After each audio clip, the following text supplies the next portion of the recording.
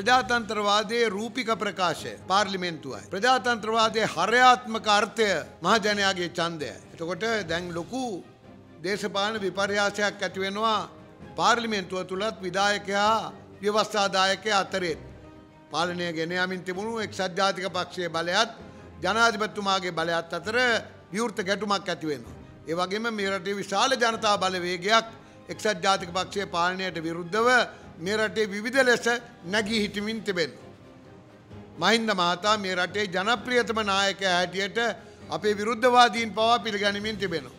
පෙබරවාරි දාවින්දා චන්ද ප්‍රතිඵලය ඉදිරියේ එක්සත් ජාතික පක්ෂය කඩාවැටන තත්ත්වයකට පත්වී තිබෙන.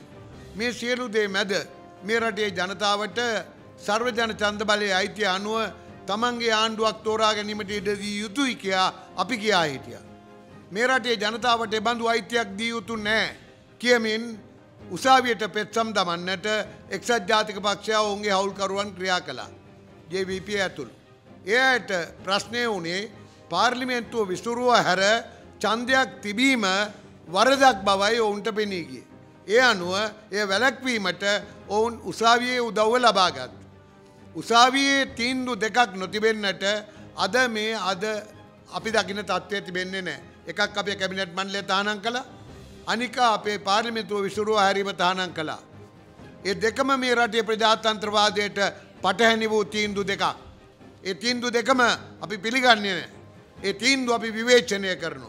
නමුත් ඒවා තීන්දු නිසා අධිකරණය අපට ඒවාට අවනත වෙන්න සිද්ධ වෙලා තිබෙනවා.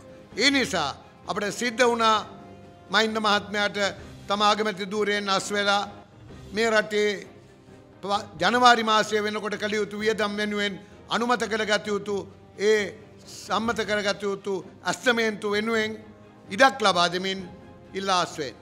එකක් අධිකරණය තීන්දු අනික් පැත්තෙන් ජනවාරි වෙනකොට වියදම් කළ යුතු මුදල් සඳහා අවශ්‍ය ගිනුමක් සම්මත කර ගැනීමේ අවශ්‍යතාවය වෙනුවේ. මේ අනුව අද රනිල් වික්‍රමසිංහ මහතා නැවතත් අගමැති ධූරයට පත් වෙලා තිබෙන. එතකොට ඒ නිසා අපි දිගට කතා කළ යුතු නැහැ. රනිල් වික්‍රමසිංහ මහතාගේ අගමැති ධූරය අද තිබෙන්නේ ඔහුගේ ආණ්ඩුවත් අද තිබෙන්නේ එක පැත්තකින් ජනාධිපතිතුමාගේ බලයත් විදායක බලයත් අනික් පැත්තෙන් විපක්ෂයේ අපේ දැවන්ත බලයත් තුන්වෙනි පැත්තකින් ජනතාවගේ UNP විරෝධී විශාල ජනබලවේගයක් කියන මේ තුනකට මැදි වෙලා. එතා මං කියනවා අර ඉස්සර කියමනක් තිවුණා ලිඳ මුදුනේ ඇතෙක්කින්නවා ලිඳ පතුලේ නයකින්නවා. නමුත් ලිඳ මැද්දේ කරවැලිකුගේ වල්ගේ එල්ලිලා මී පැණිවදයක් කමින් හිටි මිනිහෙක් ගැන කතාව. අන්න රනිල් වික්‍රමසිංහ අද ඉන්නේ ඔහුගේ පැවැත්මට තර්ජනයක් වන තුන් බලවේගයකට මැදි වෙලා අද දවසේ ආණ්ඩුවේ පැණි ටික කමින් බව කියමින් මගේ කරුණු දැක්වීමෙන් අවසන් කර.